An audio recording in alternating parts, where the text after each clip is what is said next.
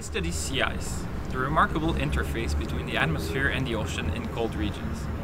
This frozen layer plays a fundamental role in regulating the ocean atmosphere mass and heat exchanges and therefore regulating the climate system. Research in our group includes numerical modeling, data analysis from climate simulations, and collection of in situ observations for understanding mechanisms that act on sea ice in a changing climate. For my doctoral project, I use observations from buoys and satellite images to investigate the predictability of sea ice in the Arctic Ocean on a seasonal timescale, up to several months in advance.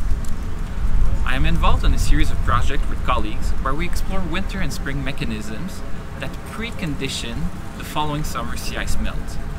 We are interested in ocean heat coming from the Pacific Ocean into the Arctic through the Bering Strait. And we're also interested in melt ponds at the ice surface that affect seasonal energy budgets by altering the surface albedo and changing the amounts of reflected and absorbed solar radiation.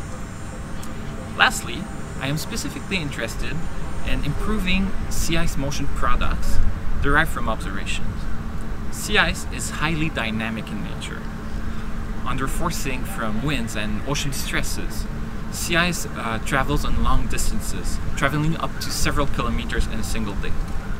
Ice floes collide, drift apart, and all of this motion introduces anomalies in the ice thickness fields. We can then use this information for predicting sea ice conditions in the following summer. I am proud to use my uh, background in physics for improving our understanding of the Arctic Ocean. Located in Montreal, one of the top student cities in North America, McGill's Department of Atmospheric and Oceanic Sciences offers excellent research-intensive undergraduate and graduate programs. Led by a group of professors with a diverse range of expertise, our research covers four main research topics, namely atmospheric uh, chemistry and physics, ocean, ice and atmospheric dynamics, weather, and climate. If you are interested in our graduate and undergraduate programs, please visit our website for more information.